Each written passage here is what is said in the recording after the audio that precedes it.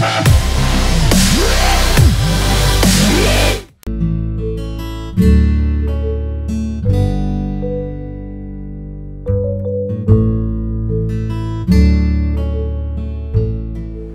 lúc nãy mình đã có một loại mứt kết hợp với một loại sữa chua thì hôm nay mình sẽ có một loại mứt kết hợp với lại xin lỗi một loại sữa chua kết hợp với hai loại mứt. Nguyên liệu cũng gồm có nè, một hộp sữa chua.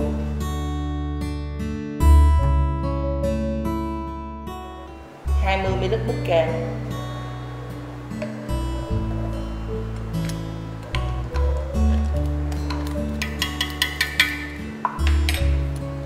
hai mươi ml sữa tươi.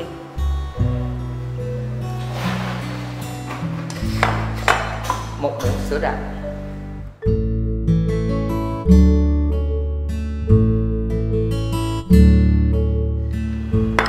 hai mươi ml kem sữa tươi.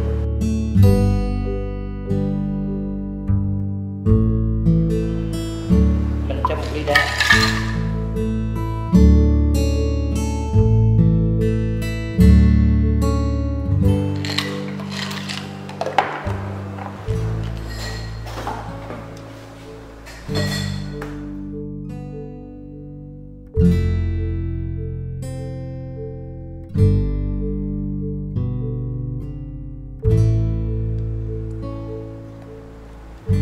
khi mình đã cho thức uống ra ly ha, mình sẽ trang trí với kem sữa tươi đánh nổi.